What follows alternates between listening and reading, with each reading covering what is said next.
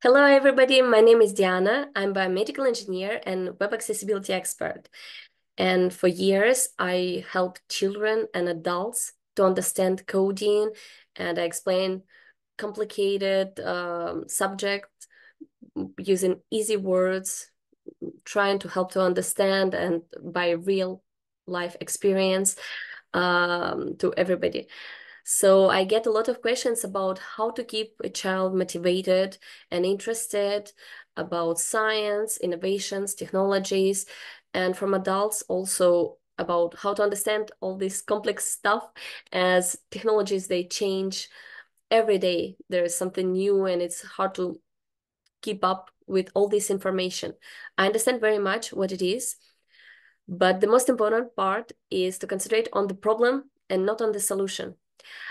So I created a board game that helped to uh, make you inspired about which solutions you can use and how to use them. And um, it really empowering you with the knowledge of what you can use in order to solve everyday problems. So here it is. That's how it looks. It's Health Tech Heroes. So it has three different types of information. So it has uh, room and uh, body parameters. Uh, it's a green color. Uh, it has hardware parameters with violet and software and programming languages with orange. So with this map, uh, we can find solution, we can create a solution for everyday real life problem. And I prepared also the cards. So every player will take the card, throw a dice, and with the dice, he has a number of options that, can, that he can choose on the map. So the parameters that he can choose in order to create e-health solution. Uh, first, I will show you like, um, so with the game, I also bring the sensors and hardware and some software that can be used so that it becomes real, so that you can see and touch things that you can work with. So it makes it more real, the solution for any e-health problem. Like, for example, we have the electronic board, the microbit, or Arduino, um, or the sensors, luminosity sensor here, um, heart rate sensor. This is the temperature sensor and uh, many others actually. And uh, so we have, so each player, he has a card, he get a card, we choose it. And uh, then we throw a dice to understand what is the number of options that you get. And for example, like for example, you get six. So you get six figures like this that you can put on the map in order to create your solution. So your solution will consist of maximum six options, six parameters. Like, for example, here, a blind woman experiences heat waves at night. So the most important part, uh, the most important words is heat waves. And uh, we all experience something like this and um, it means that your temperature is changing temperature of the body and the humidity of the body. So you feel that it's too hot and it's humid. And um, it's also at night. That's what we can read. And the woman is blind. So the solution should be accessible and should be the information should be accessible in the way not not in the visual way but through the sound like so the information should be pronounced. And uh, how we can do this? So we can take the sensors like temperature sensor to take uh, temperature of the body. This is the first step. Uh, so we first determine which parameters we need to measure. So it's temperature of the body and humidity of the body.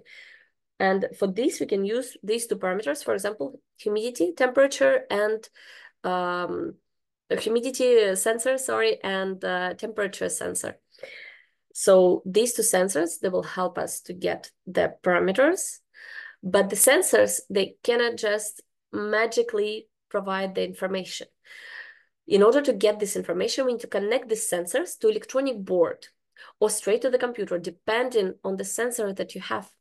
So in our case, we deal with the uh, problem at night. So we need to take the measurement throughout the night to understand how it changes. So it's long, long duration measurement. And for this, I would say it's better to take Arduino because it's more powerful than microbit electronic board. So we take this electronic board and connect two sensors, temperature and humidity one to this. But this electronic board, in order to function, it understand particular language. Like, for example, this electronic board, microbit, it, it understand MicroPython language. It can be um, controlled through this language. This one, through the language C++. So we choose on our map uh, to so we choose the parameters body temperature and um, uh, body humidity. We choose the sensors, uh, humidity sensor and uh, temperature sensor. And we connect it to Arduino, which is the hardware. So Arduino board, this is here. And uh, in order to control this uh, Arduino board, we need to um, program it with a particular language, C++ language, which is here. So that's what we need. And we don't need computer because um, we, we need computer to transfer the code. But for the solution, for e-health solution, computer is not required because we can connect Arduino after that with the batteries and it will be wireless solution. So we don't need to connect it with the computer for taking measurements we can take measurements afterwards on the card, for example, uh, using the CD card. And uh, like this, we can take measurements throughout the night, but we need to remember that the, the last part is that the woman is blind, so she need to hear the solution. And for this, we can take a buzzer, which will help us to pronounce the measurements, the information that we get. So we can program it. We can also connect this, the last sensor, to Arduino in order to pronounce the information that we measure. So this is just an example how it works, but it can be there can be really dozens of solutions. So you can understand how to connect the sensors, which languages to use, what they're used for, what is the differences between the electronic boards and how to create your own startup, e-health startup or accessibility startup to help people to be, to make technologies more accessible for people who have problem with vision or with uh, hearing. So it's very inspiring and empowering board game and I invite everybody in Paris to play with me and to have amazing time to try to play it. Uh, and I hope you liked my explanation and my solution. Hope to see you soon.